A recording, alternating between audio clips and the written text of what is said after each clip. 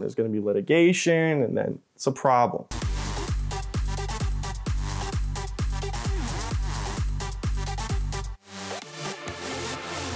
So part of our job is to locate cars that are aren't typically in a local showroom or dealership. And um, we had gotten a phone call of a vehicle that was located in uh, East Africa, but our client kind of had a general idea of what it could possibly be. It is a 1939 Alfa Romeo 6C 2500 Corsa Special, and it was uh, a competition, a lightweight short chassis competition car that Alfa Romeo had built um, in the, the late 30s. I want to believe it's maybe one of six still in existence. At that time, it was their hill climb king. Was still trying to put Alfa Romeo on the map. Mid 30s to late 30s, the racing industry, the game itself, was was up for grabs. It could have been anyone and everyone at that time. You know, with the war going off and companies going down and factories being blown up and, and some manufacturers completely stopping production to shift all of their efforts on metal production to army and the tank surplus and building ships. Manufacturers just couldn't build a car. This Alfa Romeo was extremely special. It's an inline six cylinder twin cam, a 2.5 liter, and it had three Weber-like carburetors on it. The carburetors alone are valued at about $10,000 a pop, if you can find them.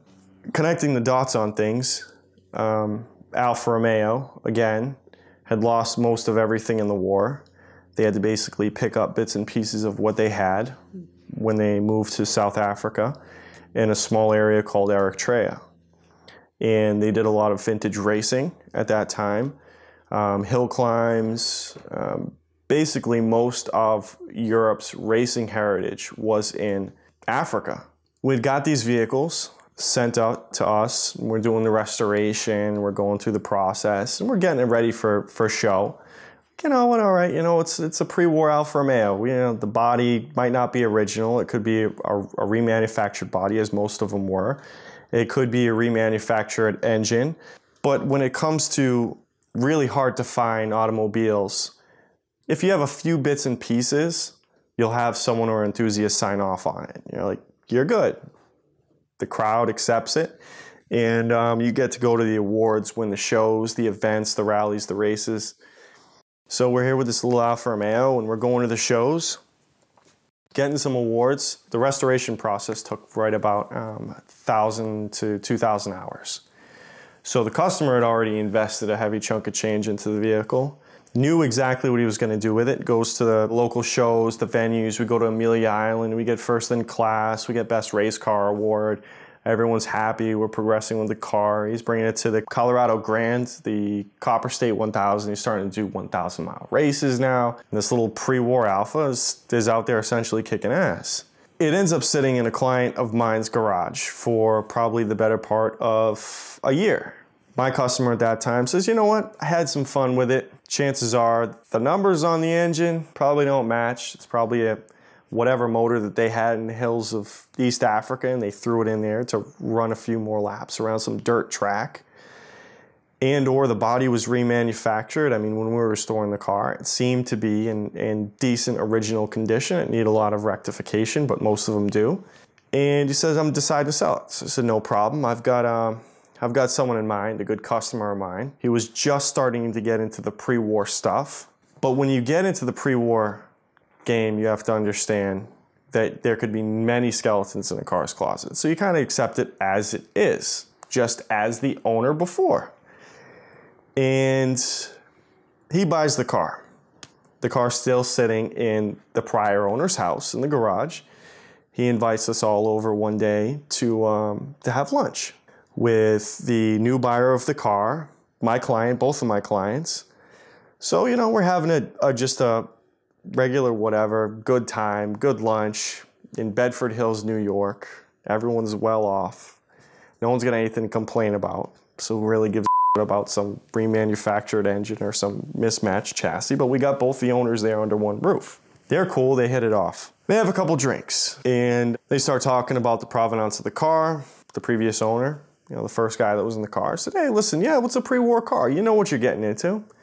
My guy says, Yeah, You know, the new owner kind of accepts it. He's cool. He's happy with it. But I just want to go check out a few things. They had a few drinks, so I'm expecting, oh, this could this could get ugly.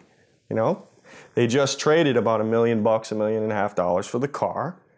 If one guy doesn't like something about it, you know, there's going to be a problem. There's going to be litigation, and then it's a problem. They go out to the garage, and and at that time, my customer had sold it for a decent deal he sold it as, you know, the engine could be whatever. They go out to the garage and, and Herb, the new buyer, turns and looks at me and he goes, Colton, yeah, what's what's the deal with the uh, the body? And I, again, I'm like, hey, listen, need body needed a lot of work. We went out, kicked some ass at Amelia Island. It was great.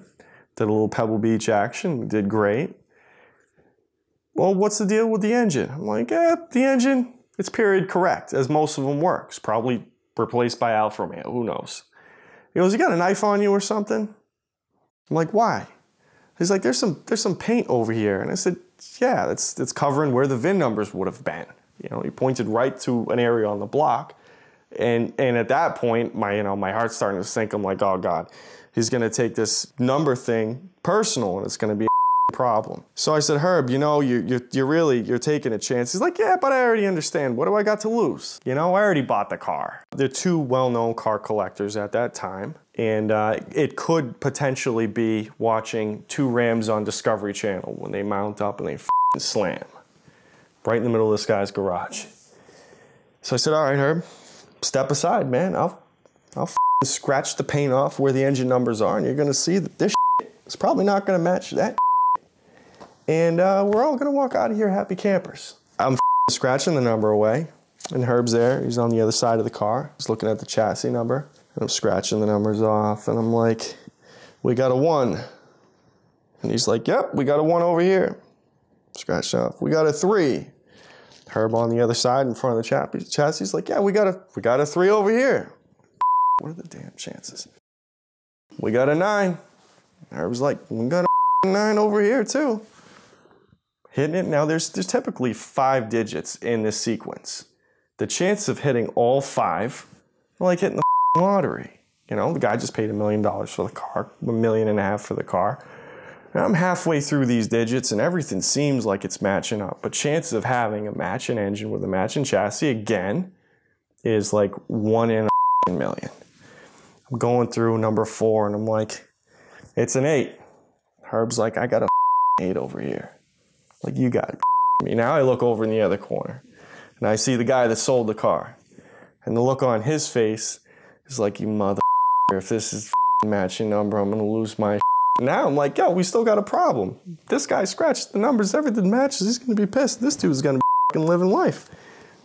Scratch the last number, and sure as it is the matching number. The motor matched the chassis. His car was instantly worth probably about three and a half, four million dollars over lunch. Bam, just like that. The guy that sold the car was obviously like, damn, had I known that was in there. But it's like, you know, these things, you don't, we didn't typically look for them because it was in the mid to late 2000s, numbers matching, you know, that sort of thing. Pre war race car was just non existent. No one really cared. You had nine tenths of the equation. So it was, you know, it was like, yeah, it was guaranteed. You got the car, there it is. You got the title, you got the VIN number, you're good. He made about two and a half billion dollars over lunch. I loved the way the Avalon King ceramic coating worked on my Porsche 993, so I was excited to try it out on my LP640. We put a clear bra on the car, but then on top of that, we put the ceramic coating to make it easier to clean. And after a 2,000 mile road trip, all the bugs just sprayed right off. It works great on my car and you should try it on yours, so there's a link in the description below for a discount.